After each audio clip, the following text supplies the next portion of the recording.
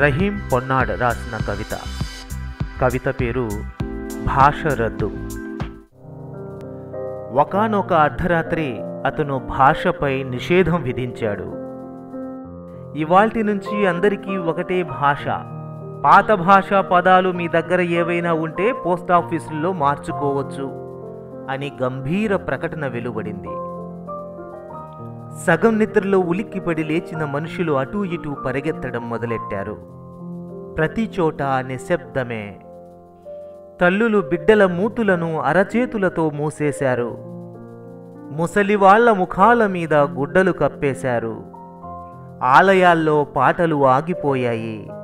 మసీదులో అజాన్ కూడా వినపడలేదు. రేడియోలో వీణానాదం తప్ప మరేమీ లేదు. టీవీ తెర మీద సైగల భాషలో వార్తలు వస్తున్నాయి. పత్రికల పేరు మీద మార్కెట్లోకొచ్చినవి ఎనిమిది కాలాల తెల్ల కాగితాలు. ప్రతి కీబోర్డు మౌనం దాల్చింది. మొబైల్ స్క్రీన్ల మీద బొమ్మలు మాత్రమే మిగిలాయి.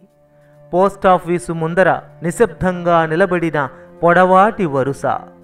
రోజుకు తలా రెండు పదాలు మార్చుకోవడానికి మాత్రమే అనుమతి. కానీ కొందరు బస్తాల నిండుగా శబ్దాలు పట్టుకొచ్చారు. టిఫిన్ బాక్సుల్లో స్కూలు బ్యాగుల్లో మాటలు నింపుకొచ్చిన చిన్నారి పిల్లలు కూడా వరుసలో నిలబడ్డారు. అమ్మ అనే మాట ఇచ్చిన వారికి మా అనే మాట దొరికింది. నాన్న అనే మాటకు బదులు బాప్ అనే మాట.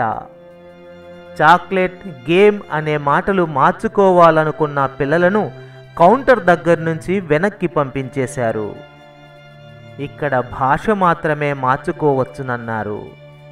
బదులు శబ్దాలు లేవనే కారణంతో అసంతృప్తి అనే మాటను శవవస్త్రం అనే మాటను వెనక్కి పంపించేశారు. చురకత్తిని మార్చుకుందామని వచ్చిన వాళ్ళను తరిమేశారు.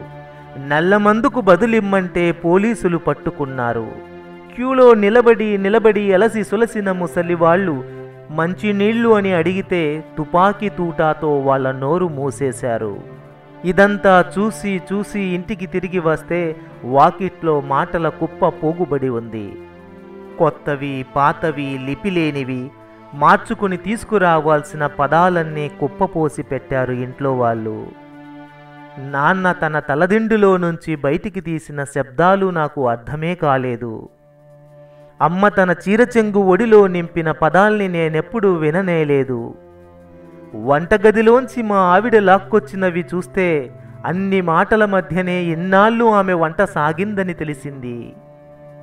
నా కూతురి సంచిలో హోంవర్క్ పదాలు నా కొడుకు పెట్టెల్లో చెల్లాచెదురైన సరదా మాటలు అన్నిటికీ బదులుగా వారికి రెండే రెండు మాటలు దొరుకుతాయని ఎలా చెప్పను? ఆ మాటల మూటలో చాలా వెతికాను. ఎంతో కష్టపడ్డాక చిట్ట చివరికి ఒకటొకటిగా చాలా బరువైన శబ్దాలు రెండు నా చేతికందాయి బలమంతా ఉపయోగించి ఆ మాటలు బయటికి లాగాను. ఒకటేమో ప్రజాస్వామ్యం మరొకటేమో బహుళత్వం. గబగబా పరుగెత్తి పోస్టాఫీసుకి చేరే వేళకు మునిమాపు చీకటి వాలుతున్నది. నా చేతిలో మాటలు చూసి కౌంటర్ దగ్గర కూర్చున్న ఉద్యోగులు ఉలిక్కిపడి లేచి నిలబడ్డారు. నా చేతి నుంచి మాటలు జారి పడిపోయాయి. ఎందరో పరుగెత్తుకొచ్చి చుట్టుముడుతున్నట్టు బూట్ల చప్పుడు వినబడింది. స్పృహ కోల్పోతూ పడిపోతున్న నాకు రెండే మాటలు వినబడ్డాయి. చంపిపారేయండి దేశద్రోహిణి ఇది మలయాళంలో రాసిన కవిత. మలయాళం నుంచి హిందీలోకి సింధు వీణా గుప్తా అనువదిస్తే హిందీ నుంచి తెలుగులోకి ఎన్ వేణుగోపాల్ అనువదించారు.